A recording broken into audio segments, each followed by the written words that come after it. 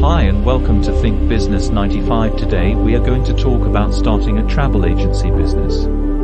Starting a travel agency in South Africa involves several steps and costs. Here's a general outline to help you get started. Research the travel industry. Gain a comprehensive understanding of the travel industry in South Africa, including market trends, target audience, and competitors. Identify your niche and determine the types of services you want to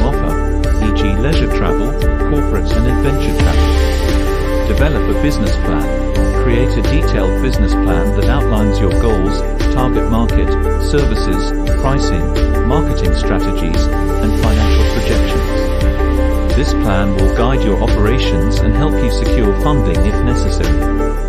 Legal requirements and registration register your travel agency as a legal entity.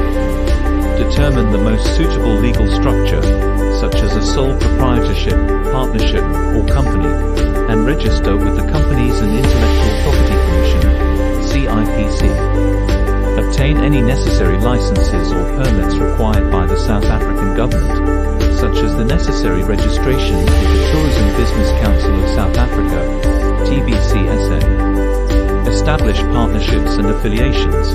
Develop partnerships with airlines, hotels, tour operators, and other travel service providers. These partnerships will enable you to offer a wide range of travel options to your clients. Consider joining travel associations or affiliating with established travel agencies to gain access to their resources, networks, and training programs. Set up an office. Determine whether you want a physical office or operate as an online travel agency. If you opt for a physical office, find a suitable location that is easily accessible to your target market. Your office infrastructure, including computers, internet connection, and necessary software for booking and managing reservations.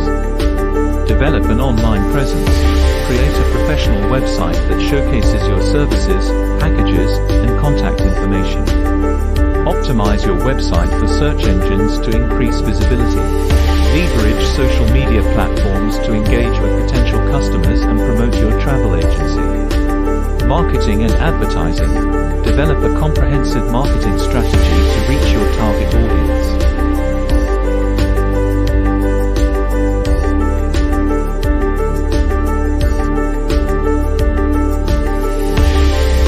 participate in travel expos or events to showcase your services and connect with potential clients. Obtain travel insurance and bonding. Protect your business and clients by securing adequate insurance coverage and bonding. Travel insurance safeguards your clients' travel investments, while bonding provides financial protection in case of any mishaps or cancellations. Staffing and training. Determine the number of employees you'll need based on the size of your operations.